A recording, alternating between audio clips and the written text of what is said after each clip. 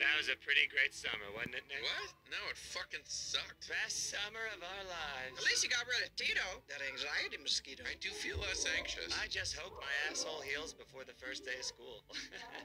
According to WebMD, I have turtleneck butt. Yeah, but it was all worth it. Look at these two rascals. I've named them Zach and Cody, and I think they're gonna